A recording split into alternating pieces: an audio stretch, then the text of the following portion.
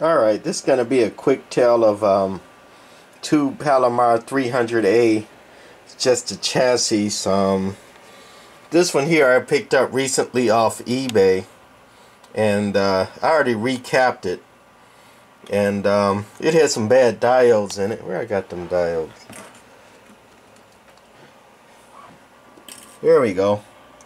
That was the diode that was in it. It's a bridge configuration this one here and actually um, a bridge rectifier which is one um, circuit. You know four diodes on one circuit fit right across here.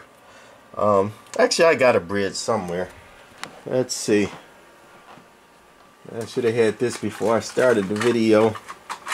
Neon bridges. Yeah. Some of my parts Anyway, that's a bridge rectifier. That's only a 600 volt that I had. And that's why I didn't replace it. But anyway, this bridge rectifier goes right there in those four holes vertically to um, that originally uh, it didn't come with single diodes but since I didn't have a thousand volt bridge and I didn't feel like ordering one and waiting and I got plenty of um, new 1000 volt 6 amp diodes. And this bridge is originally either 1 amp or I think you can even get a 4 amp but those diodes that I uh, already had and put in there are heavier and stronger. It's just I had to wire them in there. But anyway the one that uses a bridge which was an originally looked like that is the uh, high voltage power supply. Um, the bigger transformer. And then this is a customer's.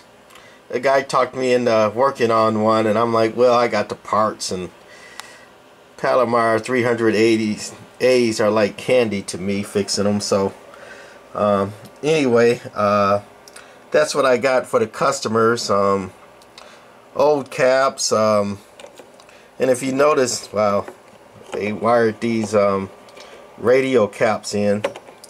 Radial caps have both the leads coming off one side, like the bottom, well not the side, out the bottom. And axial caps have one on one side and one on the other. So they're like lengthwise. And radials again have both the um, connections coming off or the leads coming off of um, off the bottom. So that's the difference between a um, a radial here and an axial. And radials here are cheaper and easier to find and very common. So a lot of times people will buy um, radials because you know like I just said they're cheaper and easier to find. But hence if you do you have to wire them in something like somebody did here. You know they got one lead wired uh, right into the board correctly and then they take the other lead and they run a jumper wire you know. That's bad that they spliced a jumper could have made a long jumper and run a jumper over to here. Whereas you can see here using the correct axial capacitor on the one that I did I replaced the uh, originals here. I always replace the cap.